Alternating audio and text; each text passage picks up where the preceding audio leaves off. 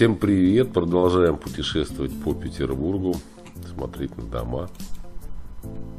Доходный дом Захаровых, Клинский, проспект 17, Серпуховская, 19. Архитекторы Захаров. Год постройки 1612-1913, стиль модерн. Данные сайта City Walls. Доходный дом Захаровых.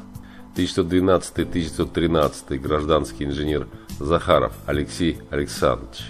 Совладельцы дома Захаровы. Мария Тимофеевна, вдова. Алексей Александрович, гражданский инженер, архитектор.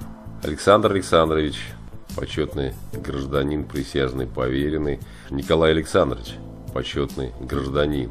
И Василий Александрович. В общем, чита Захаровых. Почти все они были и совладельцами кирпичного завода «Наследники Захарова». Был еще Михаил Васильевич Захаров, вероятно, дядя Захаровых, владевших домом на Клинском 19, который надстраивал в 1909 году сам Захаров. В квартире 6 находились ясли Забалканско-Нарского отделения общества попечения о бедных и больных детях, не более 50 детей.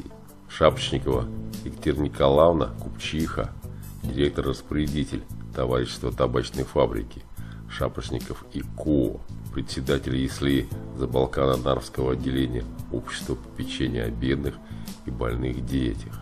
Ну вот такие данные, много, конечно, я нашел на сайте City Walls по дому Клинский 17, Серпуховская 19. Пока-пока, до свидания, всего хорошего.